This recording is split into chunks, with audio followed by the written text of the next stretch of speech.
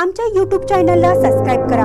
महानकारी news subscribe करा आणि notification on करा.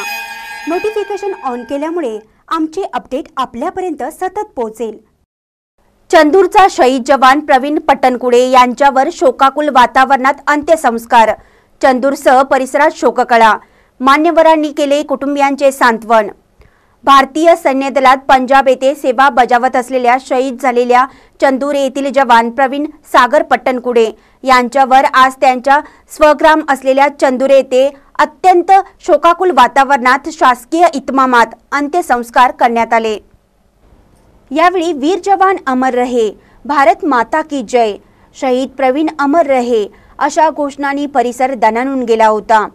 अंत्ययात्रेत चंदूर परिसरातील मांजरी यडूर इंगळी तसेच इतर तालुक्यातील ग्रामस्थ मोठ्या संख्येने सहभागी झाले होते. शनिवारी सायंकाळी जवान प्रवीण पट्टणकुडे हा गोळी लागून शहीद झाल्याची बातमी समजताच गावावर एकच शोककळा पसरली. आज सकाळी शहीद जवान प्रवीण याचा मृतदेह दिल्लीहून विमानाने पुण्याला आणि तेथून वाहनाद्वारे चंदूर येथे आणण्यात आला. सकाळी ठीक आठ वाजता त्याचा मृतदेह चंदूर येथे पोहोचताच एकच आक्रोश झाला. शहीद जवान प्रवीण यांच्या घरापासून सजवलेल्या ट्रॅक्टरमधून त्याची अंत्ययात्रा अंत्ययात्रा गावातील प्रमुख मार्गावरून काढण्यात आली.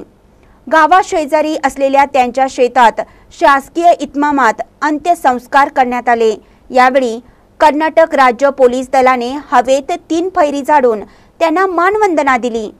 शहीद जवान प्रवीण पट्टणकुडे यांच्या अंत्यसंस्काराला खासदार प्रकाश उकेरी आमदार महंतेश कवटगिमठ अण्णासाहेब जोल्ले बसवप्रसाद जोल्ले सैनिक संघटनेचे अध्यक्ष बाळासाहेब संगरोळी आदी मान्यवर उपस्थित होते. शहीद जवान प्रवीण पट्टणकुडे याला श्रद्धांजली वाहताना चिकोडीचे खासदार प्रकाश उकेरी आमदार महंतेश कवटगिमठ बोलताना म्हणाले की चिकोडी तालुक्याला सैनिकी परंपरा असल्यानेच देशात चिकोडी तालुक्याला महत्त्वाचे स्थान प्राप्त झाले आहे.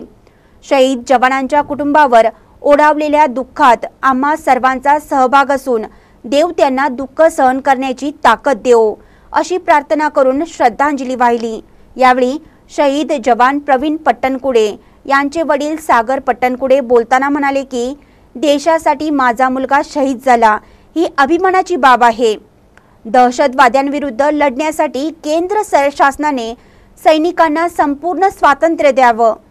नुकतेच दहशतवादी हल्ल्यात शहीद झालेल्या जवानांचे राजकीय श्रेय कोणत्याही पक्षाने घेऊ नये अशी त्यांनी अपेक्षा व्यक्त केली.